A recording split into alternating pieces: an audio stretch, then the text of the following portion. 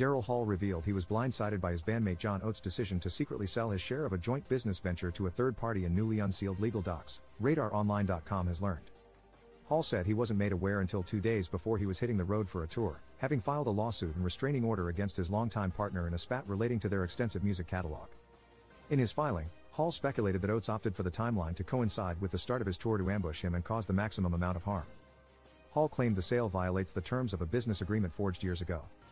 The restraining order was a move by Hall to block the sale of his bandmates half of Whole Oats Enterprises, WOE, a company they had formed to control their assets.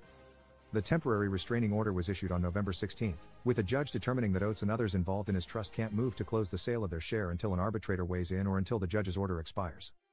I have no intention of becoming partners with Primary Wave, and, Oates, cannot be permitted to thrust a new partner upon me in this outrageous fashion, Hall argued in the docs, explaining that he fears Primary Wave may exploit copyrights and trademarks.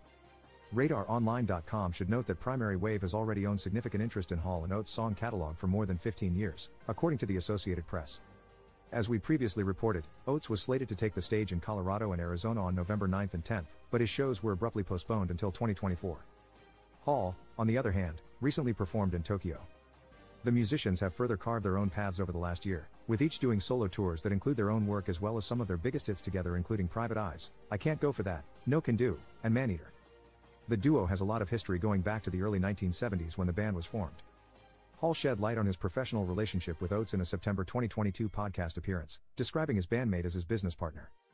He's not my creative partner, Hall said on Club Random with Bill Maher. John and I are brothers, but we are not creative brothers. We are business partners. We made records called Hall and Oates together, but we've always been very separate, and that's a really important thing for me.